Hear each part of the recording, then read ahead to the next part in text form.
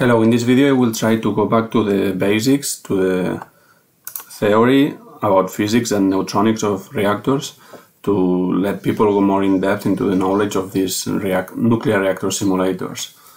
By the way, I changed my background picture. This is uh, by the painter Jacques-Louis David, French painter, and the name of this painting is Leonide Thermopyle, or in English, Leonidas in the Thermopyles, which you may know this scene from the movie 300. Let's go to the simulator. Okay, so we start from the beginning. beginning. We see a task that start by A, from A01 to A016. These are the tasks that are devoted to physics and neutronics of nuclear reactors. We already did some some task of the group C or we started something in rated state operation, but mainly I was trying to do experiments or try to do strange things with the reactor.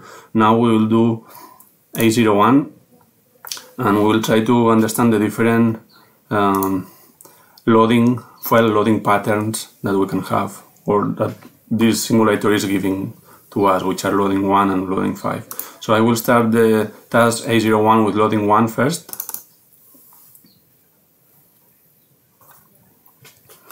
and we'll play the simulation and we'll see immediately how the simulation time accelerates if I'm not wrong.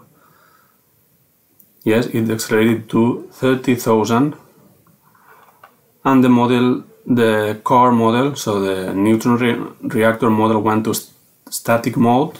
So here we don't have transients we don't need to care about xenon poisoning and things like that. The interaction with the 1C model which is the primary hydro thermohydraulic circuit model is also disconnected and the boron exchange is also disconnected. So here we just have a static model in which you have constant neutron power. We see here 9.9 exponent 1, which is this 99% here. And we don't have anything else. So here we will just have a look how the enrichment of the fuel elements is uh, scattered across the reactor. So while the time is advancing, we're already at the hour 300 of simulation time.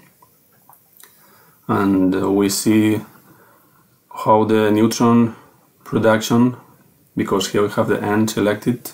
If we had the P, we'll see the thermal power generated, but here we have the neutron emission of each uh, fuel rod. In this blue uh, rainbow scale, we have the the hottest elements in terms of neutron generation here in the center and the coldest in the surrounding. Let's have a look to the GRP window which gives us the evolution of several parameters parameters and power in the red line neutron power thermal power the magenta and uh, basically basically this is table we see straight lines. Okay we go to parameters. Here's where we will focus in this video. Here we have in the different options. I will read from my notes one by one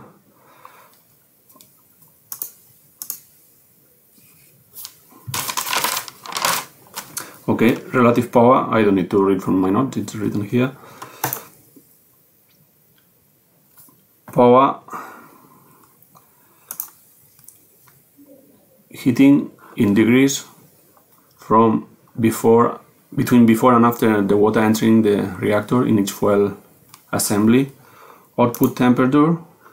Temperature of the water in the hot in the hot side so it's the upper side because the cold water is entering actually the water is entering from the upper part of the reactor going down using a deflector that surrounds the reactor. In the bottom of the reactor the water um, changes direction and goes up through the core of the reactor so the, through through the fuel elements. And during this path it increases the temperature and it reaches the top part and this is the temperature the temperature that is displayed it's the top part temperature. The diagrams in the right are the diagrams corresponding to the longitudinal output temperature.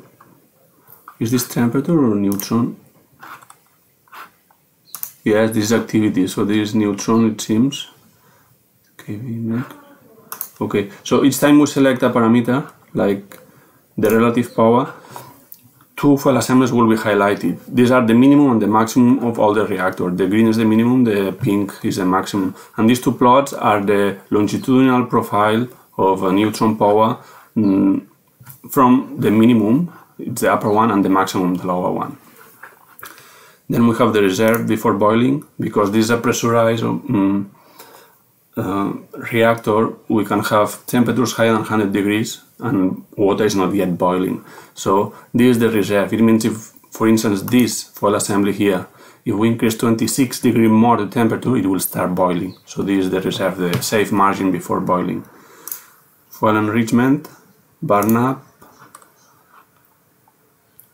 and offset. So the most interesting here is the enrichment. we see 4.23, 3, 2, etc. This is the pattern in which this reactor has been loaded after a refueling. And maybe to be more clear, because here there are a lot of numbers, but we don't have time to look one by one in, the, in this video, we will go to the 3D plot, which shows the same numerical values as the previous tab, but in this uh, colorful 3D layout. So if we select fuel enrichment, we see that the most enriched fuel elements are in the boundary of the reactor. So this is the 4.4 enrichment. It means 4.4 content of uranium-235 isotope. And the least enriched is in the center, which is an enrichment of 2, 2% of uranium-235.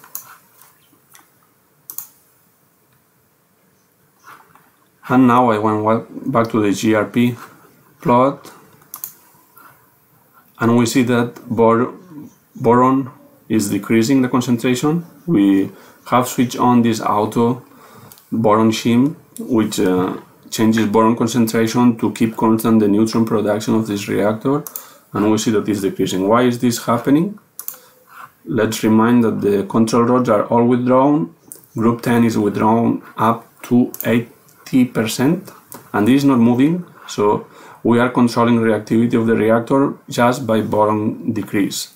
Because fuel is being burned up we have here the burn up um, output. We see as this increases as hours are increasing. We are, we are at around uh, more than 100 days of operation here.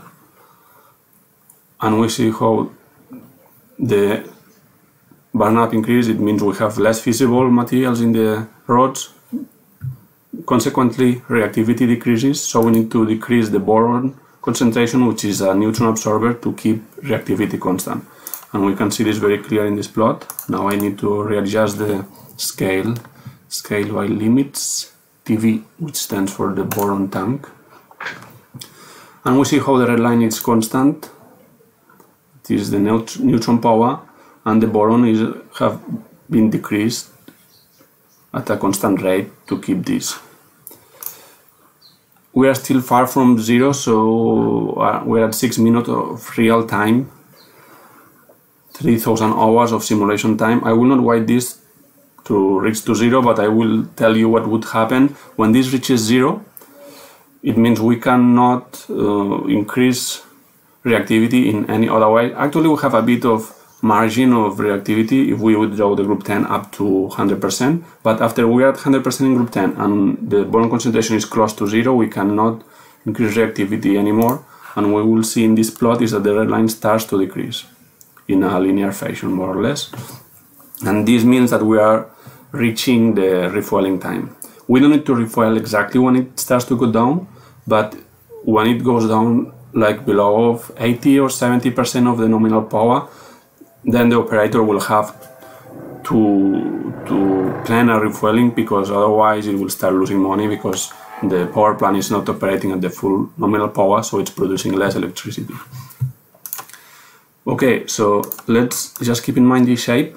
This is the enrichment 3d shape so we have more enrichment in the in the um, surroundings and less in the center. We'll also have a look in the reserve before boiling we're at around between 22 and 20, 37 degrees.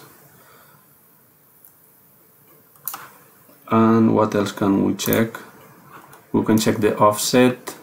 We are between 2 and 10 and these spikes are the group 10 rods inserted to control the reactivity.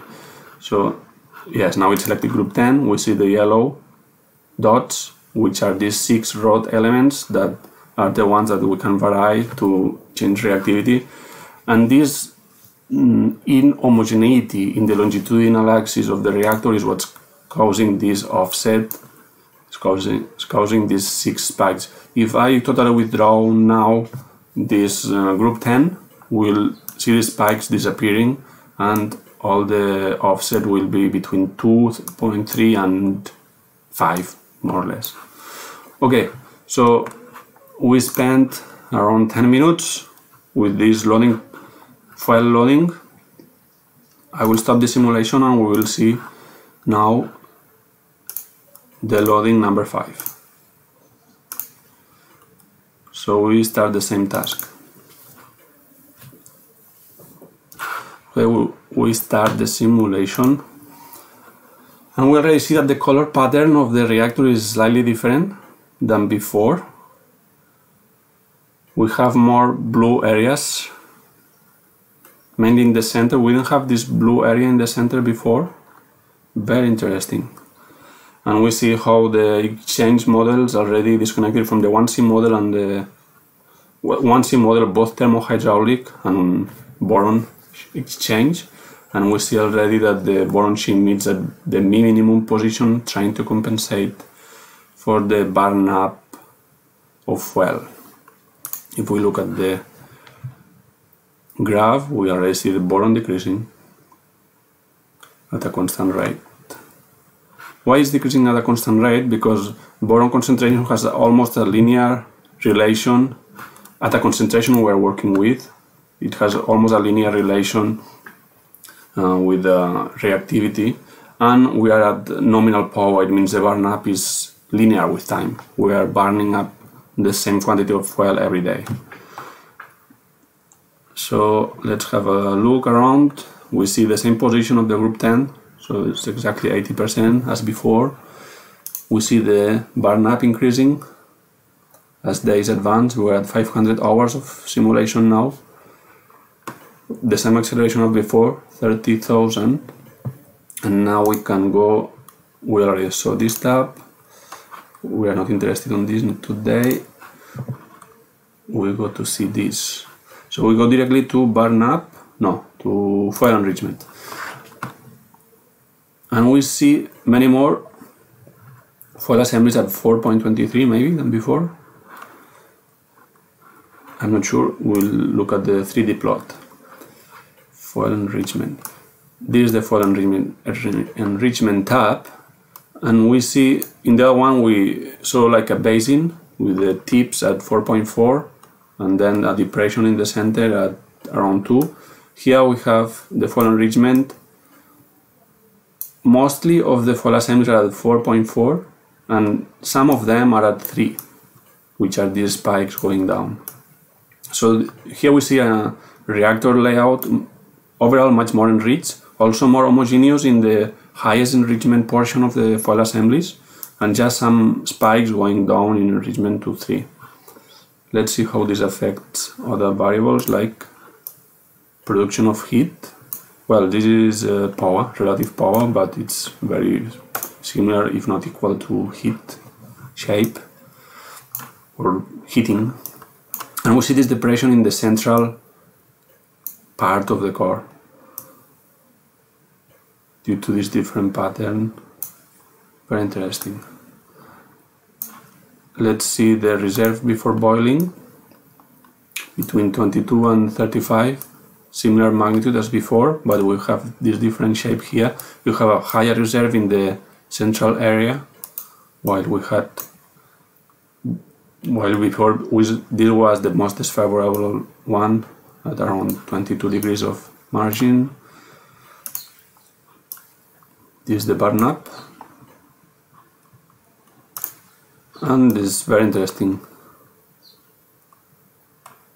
enrichment layout and finally the offset in which we still have these six spikes, as I told you, because we are using the group 10 to regulate reactivity. So this is these are the six spikes of offset created in the longitudinal mm, dimension of this reactor. Okay, we can also have a look into the loss of symmetry, but this is not many, not not very meaningful unless we have a loss of symmetry situation like uh, one of the recirculation pumps in the primary goes off so we will have a asymmetric entry of water in the, into the reactor or with, withdraw some of the fuel assemblies asymmetrically, which we will not do usually unless we are doing some strange test or application. So let's look at it. This quite meaningless, have to say, because this movement here is just numerical noise and these spikes here, well, just meaningless. It, they are giving us no information at the moment.